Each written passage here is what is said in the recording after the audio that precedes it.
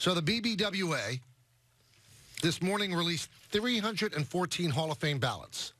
That's 79.1% of the writers who opted to make their ballots public. That includes 91 previously unrevealed ballots.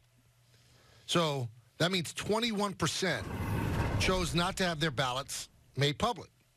Ken Rosenthal of The Athletic points out Jeter was listed on all the public ballots. The person who did not vote for him remains anonymous.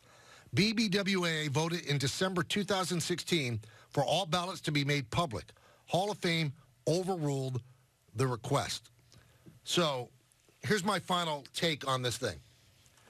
The person who didn't vote for Derek Jeter, who doesn't make his or her, her ballot public, is a gutless puke. no, no, you're right. It's. I mean, really. I, I, I don't have a problem if you didn't vote for Jeter. I have a problem that you will not defend the fact that you didn't vote for Jeter. You are a gutless puke. So you did something because you wanted to take the honor of being the second unanimous player away from a guy. There's no way you could look at Derek Jeter's career. Let's say you, you don't think he's the greatest shortstop of all time. Okay, you can make that argument. You can't make the argument he's not a Hall of Famer. Only five five people in the history of the game have had more hits than him. Look at his, uh, his postseason numbers. He has a 314 batting average in, in the World Series and a 309 overall or 310 overall. So he hit better in the World Series. So again, you hide behind anonymity because you're a gutless puke. And people can say, oh, that's Yankee boy defending Jeter. No, no.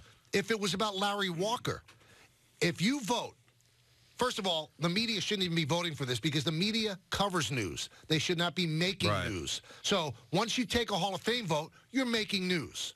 That's the only reason you, you should have that vote is to explain it. Since you're making the news anyway, explain why you're making the news. And for the person to hide behind anonymity because they're afraid or they're scared, yeah, in this world you should be because there are a lot of lunatics out there. But again, you refuse to make your ballot public? Well, isn't journalism the, the, the, the actual job that you have about transparency and holding those um, in power to account? And nobody can hold you to account for holding back a vote on a, on a Hall of Fame player? Gutless puke. I don't know other way to put it. I think you'll agree with this, Michael, and Peter will as well. You don't know me. That if you get into the media to cover something, to do a talk show, to have a column, and you've been around long enough that you can get a vote for the Hall of Fame you're an opinionated SOB. I never met anyone in this business that wasn't. Otherwise, they're worthless. If you're going to have opinion, then you're also going to have the passion to debate that opinion. Otherwise, your opinion's worthless.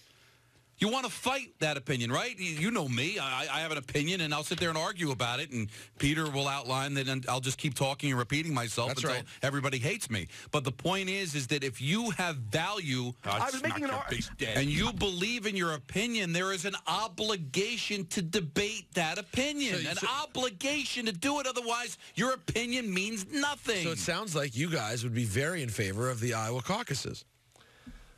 That's what they do. They have to argue their candidate. They don't just write down the vote. No, no, no. I they stand in a room and they go, "Here, this is what my choice is," and they I, argue it. We don't get into politics on the show, but if any third world nation had votes like we have in Iowa, we'd laugh at them. That's, no, we would absolutely laugh at them. So that's that's one point we'll put away.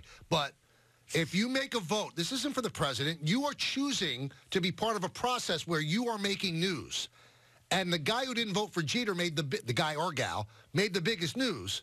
But then is a I can't say this enough is so much of a gutless puke that he or she refuses to defend the vote. I don't get it. Here's the analogy that I would use. I don't think if you're somebody that votes for the president and you're just living the general public that you have any obligation to tell people who you voted for unless you wanted to. But if you're the New York Times and you back a candidate, you better tell me why you're doing. Exactly. So if you're in the media, if you're covering a team and you have an opinion that is as big and controversial as I don't believe Derek Jeter's a Hall of Famer, then you are a gutless puke. If you're not going to come forward and debate that with me, then you shouldn't have a vote. And there's no reason why that the Baseball Writers Association or the Hall of Fame should be able to protect these people. And when they did this, when the Baseball Writers Association voted, I mean, almost unanimously, to make their votes public. For the most part, they were all on board about making their votes public.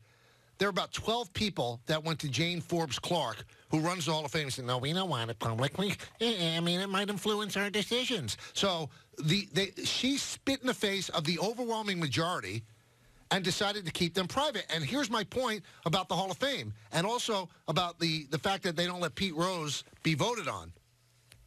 If the writers feel that this is unfair, what the writers should do, but they wouldn't do it because, oh my goodness, do they love that Hall of Fame vote.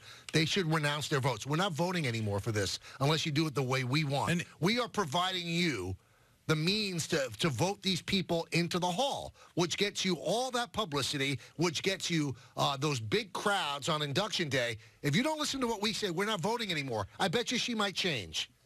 And Michael, if a voter works for a newspaper that I find out that that reporter working for me wants to keep his or her vote private because of public backlash, that they don't have the guts to stand by their vote, I'd fire them based on this. So that means that every time you have an opinion, you're allowing that opinion to be influenced by how the public feels about it, not how you feel about it. Because I'm sure if you're covering a sport, Michael, if you're covering baseball, there must have been columns about how this person deserves to be fired, or this person deserves to be traded, or this player deserves to be benched. So if you have an opinion and you're telling me that I, I, I don't want my, my Jeter non-vote to go public because I'm afraid of the backlash, then you tell then you're saying that your opinion is influenced by your readers. And I will tell you this, too. That same person that didn't vote for Derek Jeter and refused to make his or her ballot public, they're going to ask Luis Rojas sometime in May, why didn't you bunt the runner over to second base in the ninth inning? What if Luis Rojas said, nah, I'm good. I don't want to tell you. Because that's exactly that that person that will not make their ballot public and actually debate the the vote or the non-vote, they have no right to ask any question to anybody because they don't deserve an answer. Like we're not getting an answer on this. I'd like an answer But- on why that person didn't And- vote for Derek Jeter. And remember, You are a gutless puke. And not for punishment, Peter. I want to openly debate it. Now, I doubt it very seriously. Matter of fact, I would almost guarantee that they would not sway my opinion. But at least with the public debate, I'd be able to hear what he or she had to say. Maybe it is because of what's happened in Miami with the Marlins. Now, I wouldn't agree for not voting him, but I, I would that would at least be a reason. I could wrap my mind around that. do you guys